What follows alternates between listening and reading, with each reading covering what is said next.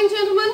Good morning, we are moving on to multiplication of decimals and it's actually the easiest thing in this topic. You don't have to worry about including decimals in the question. So it's very easy. What we do is we ignore the decimal points to begin with. We set up our question like for a normal multiplication and then we count how many decimal places were in the question. The answer will have the same number of decimal places. Does that make sense? It'll be clearer when we do the questions. So first, I'm going to ignore the decimal point.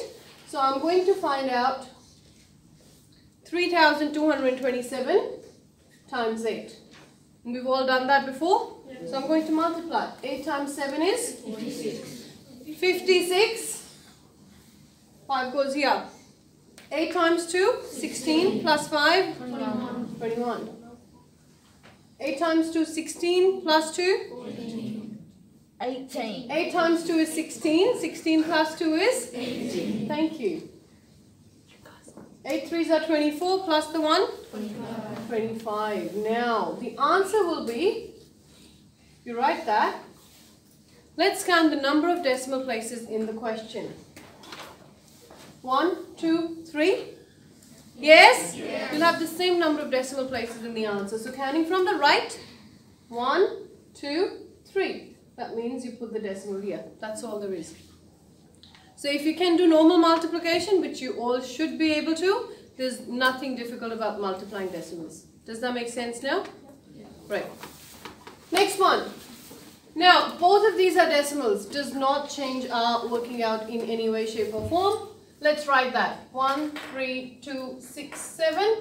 Have I ignored the decimal? Yes. Times by 12. I've ignored the decimal, haven't I? Let's time. So do we times with 1 first or 2? 2. Well done. Units digit first. 2 times 7? 14. 2 times 6? 4. Plus 1? 2 times 2? 4. Plus 1? 2 times 3? 2 times 1? Now, what do we put here? Now we're multiplying by 10, not 1. 0. A 0. Yep, well done. Put a 0 here. And these get crossed. 1 times 7? 1 times 6? 1 times 2? 1 times 3? 1 times 1? And now we add.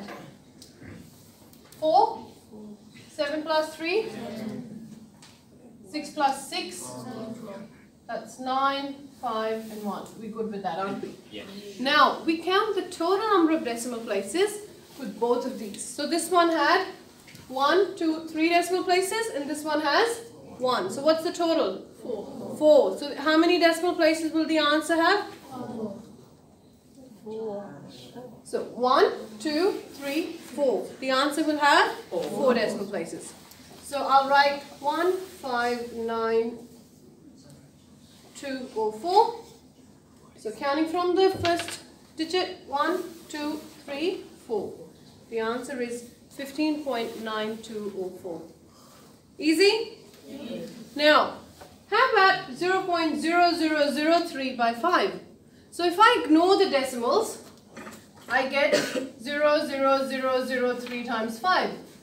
Don't I? I've just gotten rid of the decimal. Do I need all these zeros before 3? No. no. So doesn't it actually become 3 times 5? Yep. Does that make sense? So all these numbers, zeros before are just confusing us. So write them if you want to. But then you can see that they don't matter anymore. At least for the time being. 3 times 5 is? 15. 15. Now, hands down. What's the total number of decimal places? 1, 2, 3, 4. So our answer should have 4 decimal places, right? So counting from here, 1, 2. But it only has 2. What do I do? Put zeros. Put zeros. Because you need to have four digits after the decimal. You don't put zeros after, you put zeros before the one. Is that clear? So 1, 2. So to get more decimal places, you put two more zeros because you needed four decimal places. Does that make sense? We'll do another question like this.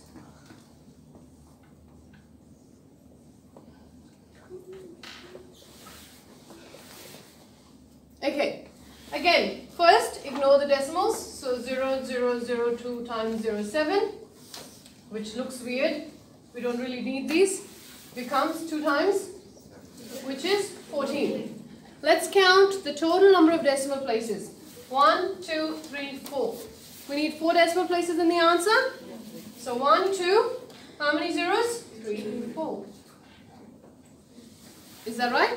That's it. That's all you need to know for multiplying decimals. Get on with your work.